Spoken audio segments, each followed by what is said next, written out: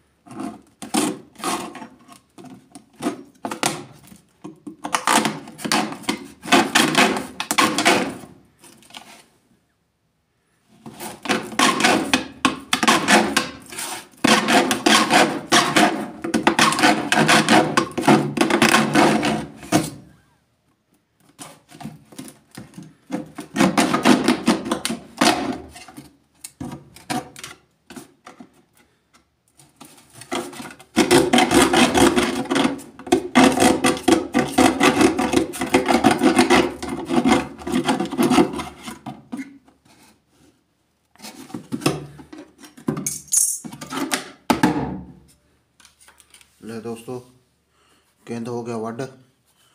ਇਦਾਂ ਵੀ ਜਿਹੜੇ ਲੋਕ ਗ੍ਰੈਂਡਰ ਨਾਲ ਵੱਢਦੇ ਆ ਨਾ, ਉਹ ਖਾਸ ਖਿਆਲ ਕਰਿਆ ਕਰੋ। ਇਹ ਦੋ ਲੱਗ ਕੇ ਲੱਗ ਜਾਵੇ, ਬੰਦੇ ਦੇ ਗੋਡੇ ਗਿੱਟੇ ਪੈਰ ਤੇ ਲੱਗ ਜਾਂਦਾ ਹੁੰਦਾ। ਇਹ ਜ਼ੇਨ ਵਿੱਚ ਗੱਲ ਜ- ਜ਼ਰੂਰ ਰੱਖਣਾ। ਐਂਡ ਲਾਈਕ ਸਬਸਕ੍ਰਾਈਬ ਵੀ ਕਰ ਦੇਣਾ, ਜੁਨੇਦ ਪਲੰਬਰ।